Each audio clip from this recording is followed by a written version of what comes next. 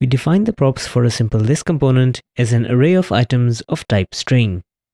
Within the list component, we render a root div that establishes a nice vertical layout with a gap of 10 pixels, and then we simply loop through the prop items and render them one by one within simple divs.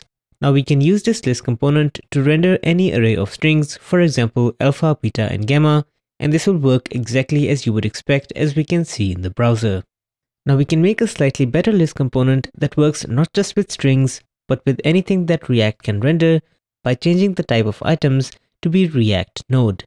This gives us a bit more flexibility because now we can modify the individual items to be more stylistic, for example, changing the gamma to be strong and emphasized.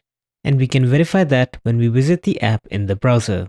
Now this sets us up to introduce the concept of generic render functions. The key objective is to allow our consumers to provide us with a list of items, as well as a custom render function that can be used to render the individual items. We accept a generic type argument to the list props which will be used to specify the type of the individual items. And then we add a render item function which will accept an individual item and return a rendered React node. We modify our list function to also be generic and then use this generic argument for list props. And now instead of directly rendering the individual items, we pass them to the render item prop. With this in place, the individual items that we pass to the list component can be any JavaScript object that we want. For example, here we have objects of the structure, name of type string and location of type string. And now we can wrap any advanced logic that we want within a custom render function. For example, if the location is America, we can say it a bit more strongly as compared to the other item names. In our list, the location America corresponds to the name beta, and we can see that beta is rendered as bold by our app component.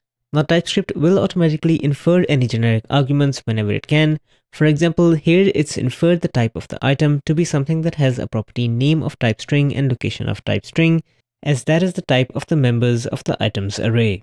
However, we can be more specific if we wanted to. For example, we can define a data to be something that has name and location of type string, and then pass that generic argument when we try to use the list component.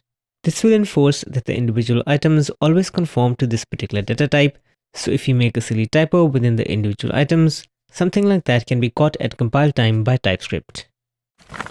And that's it for today's quick tip. Thank you for joining me. Smash that like and subscribe for more content like this. Check out the other tutorials on this channel and I will see you in the next one.